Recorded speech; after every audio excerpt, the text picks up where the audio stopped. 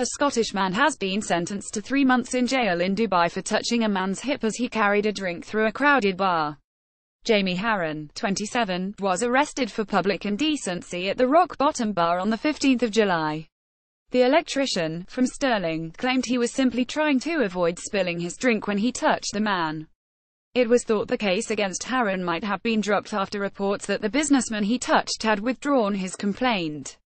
But on Sunday the campaign group detained in Dubai, which has been supporting Harron, said he had been sentenced to three months in jail for public indecency.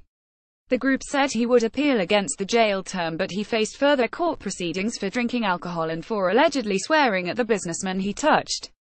In a statement, the group said Harron was angry, disappointed and dreads what may happen next.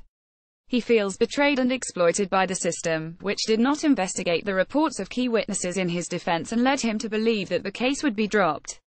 The group said Harron would take legal action against his accuser, said to be a senior employee at the engineering firm Neuman and Esser, when he was eventually able to return to Britain. Radha Stirling, the chief executive of Detained in Dubai, said Harron had suffered tremendously as a result of the allegations, had lost his job, faced losing his home and was struggling to pay his legal bills.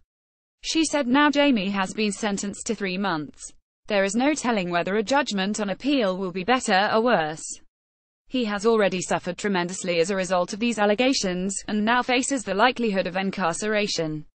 His family was unable to visit him during this critical time because they faced a very real risk of imprisonment themselves under the UAE's cybercrime laws which forbid criticism of the government. At this point, Jamie will definitely be pursuing civil action against his accusers when he does eventually return home, as it appears that he will not be able to find justice in the UAE. Neuman and Esser said its employee sought to drop his complaint against Harron in August but Harron's supporters have said there is no documentation to support this and said his accuser had never appeared in court to request a dismissal.